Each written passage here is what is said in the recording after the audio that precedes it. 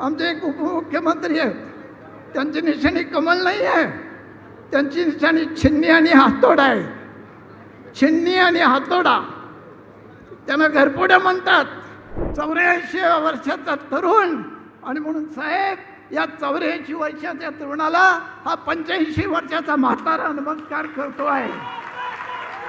नोव्हेंबरमध्ये निकालल्यानंतर महाराष्ट्रात हे सरकार राहणार नाही राहणार नाही राहणार नाही. देशाचे नेते आदरणीय पवार साहेब आणि व्यासपीठावरील सर्व नेते एवढी माणसं आहेत की माझ्या भाषणाला पाच मिनटं आहेत. पण कोणाचंही नाव न घेता पवार साहेब हे प्रातिनिधिक नाव घेऊन आज या चिपळूण नगरातून उद्याच्या महाराष्ट्राच्या विधानसभा निवडणुकीचा बिगुल महाविकास आघाडी राष्ट्रवादी काँग्रेसच्या बाजूनं आज या ठिकाणी वाजलेला आहे. असा मेळावा. काल परवा एक मेळावा झाला. आठवडी बाजारासारखं एका बाजूला.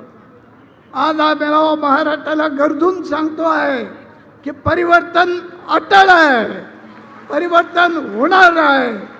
आणि परिवर्तन झाल्याशिवाय मी म्हणणार नाही हे मी तुम्हाला मी सांगायला आलेलो आहे. पवार साहेब आज तुमच्या एवढा प्रचंड नेता महाराष्ट्रात आमच्या सगळ्याच्या समोर असताना आहे. पन्नासाव्या वर्षी महाराष्ट्र विधानसभेत पवारसाहेबांना पन्नास वर्ष झाली. म्हणून विरोधी पक्ष नेत्यांनी त्यांच्या अभिनंदनाचा ठराव मांडला. जगाच्या इतिहासात असं कोणतंही उदाहरण नाही आहे की विरोधी पक्षनेता मुख्यमंत्र्याच्या अभिनंदनाचा ठराव मांडतो. पंच्याहत्तर वर्ष झाली पवारसाहेबांना तेव्हा देशाचे पंतप्रधान भाजपचे अटल बिहारी वाजपेयी टोकियोहून येतात.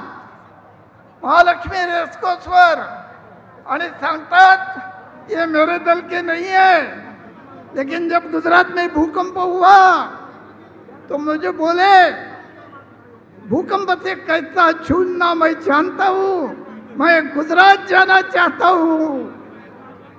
देश में 750 सांसद है, उसमें अकेले शरद जी निकले, जो बोले, मैं गुजरात जाना चाहता हूँ, और इसीलिए मैं आज आया हूँ हे देशाचा पंतप्रधान सांगतो आणि देशाच्या राष्ट्रपती, पंतप्रधान, सात राज्याचे मुख्यमंत्री ऐंशी वर्षी ज्याचा सत्कार करतात जगाच्या पाठीवर असं एकही उदाहरण तुम्हाला सापडणार नाही. एवढा मोठा नेता आज चिपळूणच्या नगरात आलेला आहे. ही नुसती परिवर्तनाची लढाई नाही आहे ही केवळ सरकार बदलण्याची लढाई नाही आहे महाराष्ट्राला अपेक्षित असलेले यशवंतराव चव्हाण वसंतदादा शरद पवारांच्या कल्पनेतलं सरकार सुसंस्कृत सरकार आढायचं आहे लाडक्या बहिणींची जाहिरात जास्त झाली.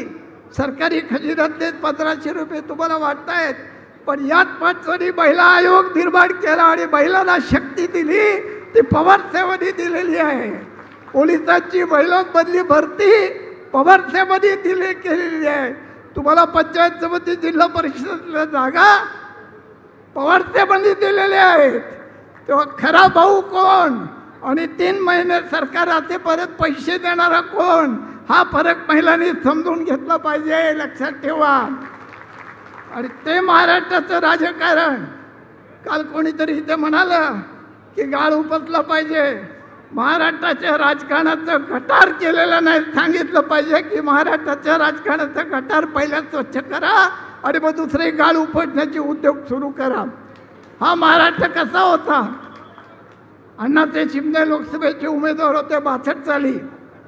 काँग्रेसचे विरोधी पक्षाचे होते दादासाहेब रूप होते अण्णासाहेब शिंदे दादासाहेबाच्या घरी गेले. आणि म्हणाले दादासाहेब तुम्ही माझ्या विरुद्धात श्रीरामपूरला तुमची सभा होईल दुपारचं जेवण माझ्याकडे. आणि दादासाहेब म्हणाले मान्य पण अकोल्याला जेव्हा तुम्ही याल तेव्हा दुपारचं जेवण माझ्याकडे.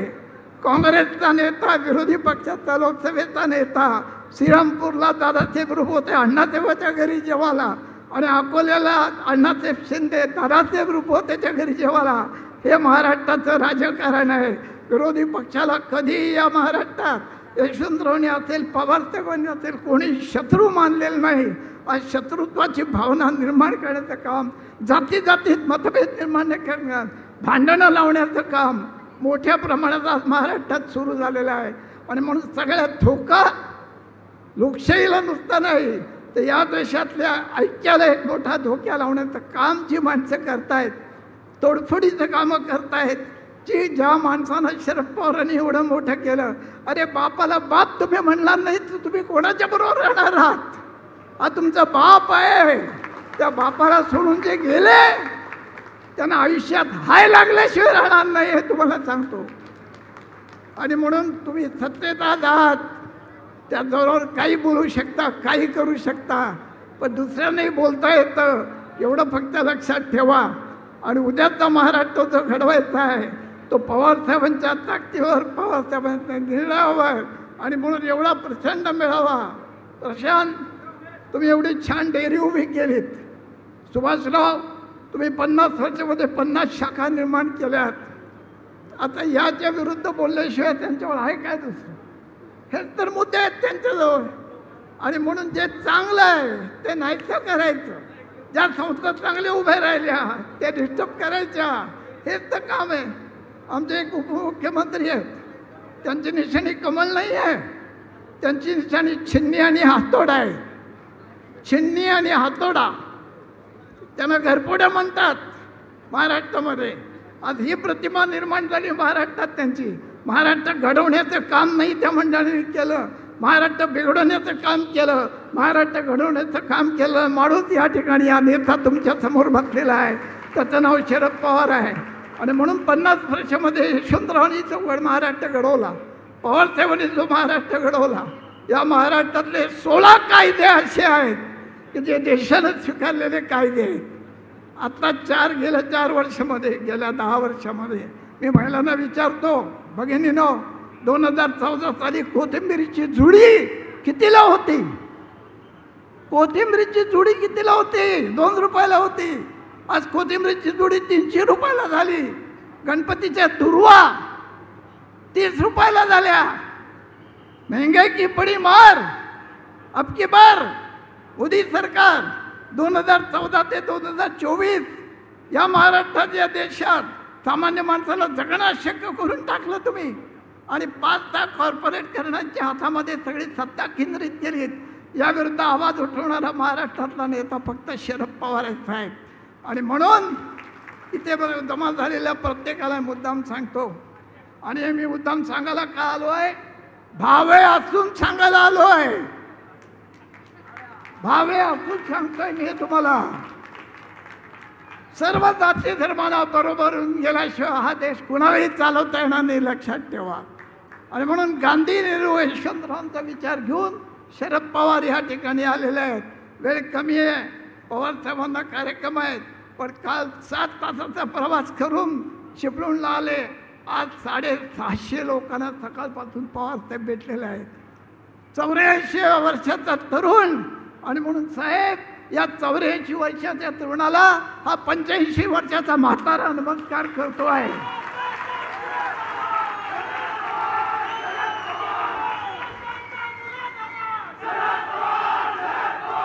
आणि म्हणून जीवा जीवाचे पर्यंत आम्ही तुमच्या मागे ठामपणे उभे राहू. पुन्हा एकदा यशवंतरावांचा महाराष्ट्र उभा करायचा आहे. आणि तुम्हाला एक चांगले निमित्तानं कार्यकर्ता चिपळूणमध्ये मिळालेला आहे. ही पी के सावंतांची भूमी आहे. पुरोगामी विचाराची भूमी आहे. तिथे प्रशांतसारखा एक हिरा तुम्हाला सापडला आणि तुम्ही त्याला पैलू पाडून पक्षाचा राष्ट्रीय सचिव केलात महाराष्ट्राचा सचिव केलात उद्या त्याला जी जबाबदारी द्याल चिपळूणकरांच्या शिरपेचा मानाचा तुरा खोला जाईल एवढंच या निमित्ताने सांगतो. आपल्या सगळ्यांना मनपूर्वक धन्यवाद देतो. आणि ही एकजूट विधानसभा निवडणुकीपर्यंत कायम टिकवा. आणि महाराष्ट्रातलं हे सरकार आपल्याला घालवायचं आहे लक्षात ठेवा हे सरकार जाणार आहे.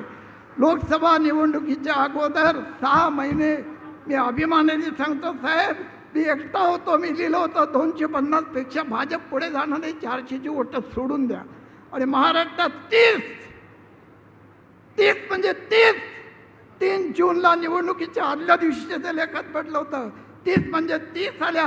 आज सांगून जातो तेवीस तारखेला नोव्हेंबरमध्ये निकालल्यानंतर महाराष्ट्रात हे सरकार राहणार नाही राहणार नाही राहणार नाही. आणि त्याचे नायक शरद पवार साहेब असतील धन्यवाद. जय हिंद जय महाराष्ट्र.